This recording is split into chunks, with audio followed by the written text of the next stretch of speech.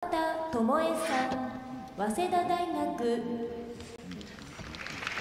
女子ショートプログラム最終滑走です。昨シーズンはジュニアながら3位表彰台へと一気に駆け上がりました。川端智恵さあシニアデビューシーズンの全日本最終滑走で迎えました。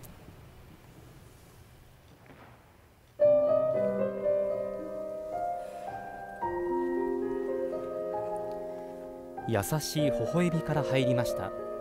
黄昏のワルツ。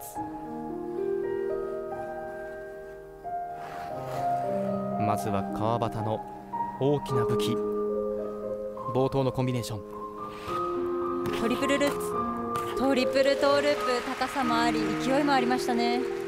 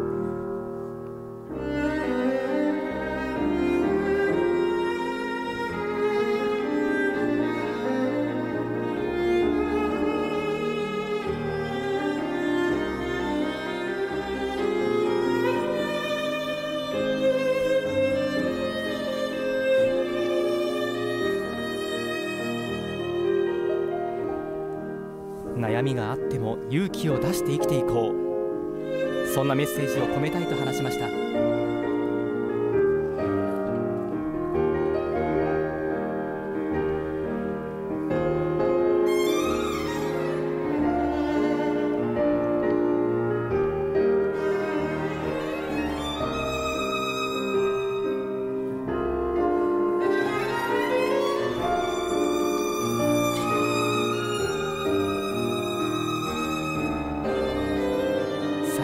や苦しんできたアクセル。ダブルアクセルいいですね。綺麗な着氷でした。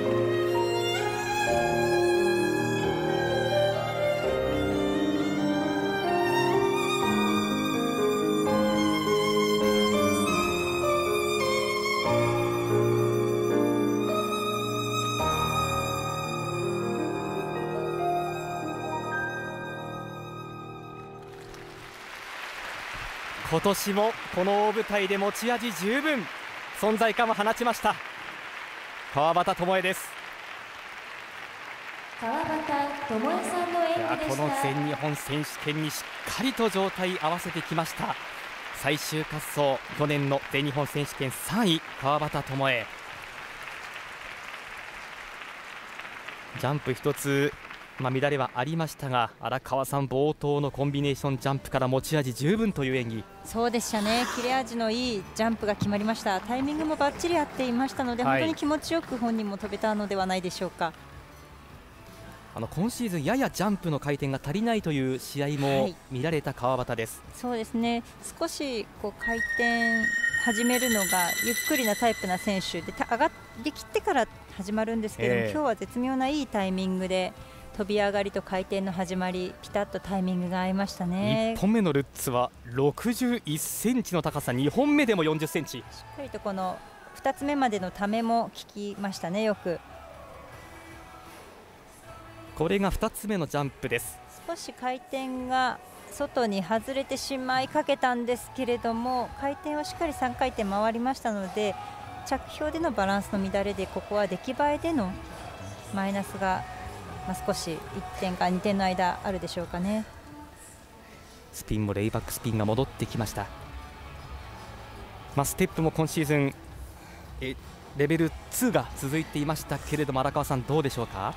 そうですね。見直しをしてしっかりとエッジワークを明確に踏んでいかないとレベルを上げきるために必要な要素に満たされないんですけども少しずつですね、えー、あの狙ったところに持っていけてるのではないでしょうか柔らかな曲調のワルツエレガントさというのも川端の魅力です、まあ、昨シーズンショート7位から逆転のフリー3位表彰台に上がりました。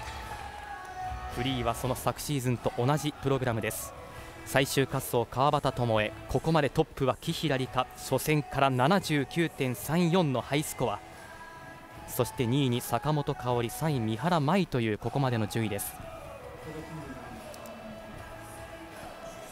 荒川さん非常にレベルの高い戦いです。そうですね。やはりちょっとした本当悔やまれるものがあった選手そしてパーフェクトにやった選手それがフリーになってくるとどんどん差が大きくなっていきますのでこのショートで得点差が少ないということはもう本当にフリー勝負、はい、どれほど加点を紡いでいけるかというところもポイントになってきますよね。そのフリーに向けて。64.56ショートの得点は64.56こちらもシーズンベストは更新しています川端智恵ショートは9位という順位でした。